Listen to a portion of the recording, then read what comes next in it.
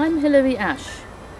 I'm Honorary Conservation Officer for Wirral Wildlife and I'm also one of the volunteers who's run New Ferry Butterfly Park for the last 17 years.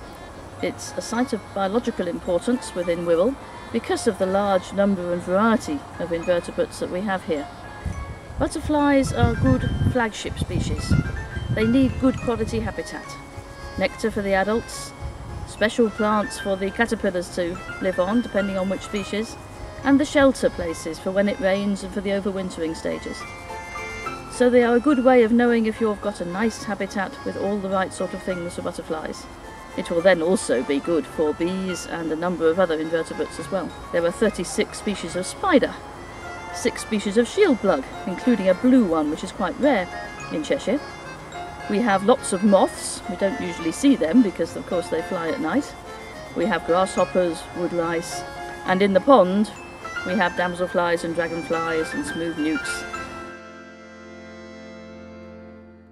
My name's uh, Paul Loughnane and uh, I'm involved with uh, managing this nature reserve uh, for all sorts of wildlife but in particular skewed towards butterflies. So we get a lot of, a lot of biodiversity in a small site. I've got 26 species of butterfly here. The rarest one is a white hairstreak. It's very hard to see because it lives on top of an elm tree and it's only 25 millimetres big, so it's quite small. The peacocks and the tortoise shells, we've got common blue. Brimstone butterflies are, are arriving you know, we've got a bit more global warming, they're moving a bit further north, so we're seeing them more frequently, and we planted plants for them, the alder buckthorn again. The larval food plants are quite important.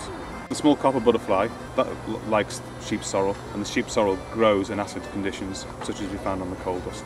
This meadow here has an awful lot of um, cowslips in, in Maytime, and now it's, it's quite a variety here, and it's lovely with the, with the margin stuff.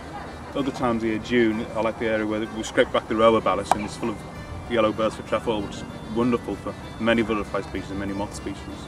The history part goes back quite a long way. The earliest artefacts we've got is brick making.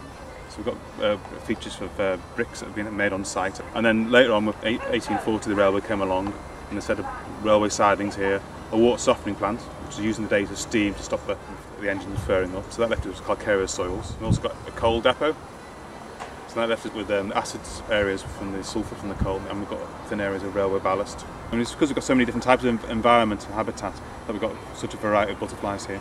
This year we're very lucky we've got a new artist in residence, well our first one, Carol Ramsey, and she's coordinated three or four artists to do different different types of art sculptures, which if you walk around the park you can have a look and make some sense.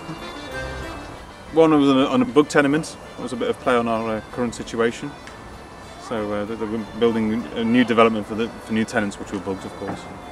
We've got the thing called an elastotone, which you can just pull a bit of a copper, we've got some hazel coppice blocks, and you can pull them on a bit of string, and it hits a, hits a drum or, a, or a few plastic bottles, you can play a little tune on it. It's great fun for the kids.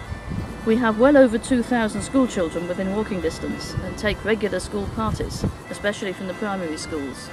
This allows the children to see butterflies and bees and all sorts of mini beasts, and they particularly love the pond mini beasts, of course. If you just type New Ferry Butterfly Park into the web, you'll get you'll, get more information on the web pages, or look on the Cheshire Wildlife Trust web page, because the Cheshire Wildlife Trust Reserve. Um, we're open on Sundays, 12 till 4, so sort of from May to August. And if your group wants to come along, then just contact us and we can open it especially for a group, you know, interested groups, the Scouts or the Girl Guides come or Boys Brigade. Quite a lot of special needs schools come locally from the, from the Wirral. I think they've, you know, they, they're surprised, you know, it's just a different environment for the students and they, and they have a really good time.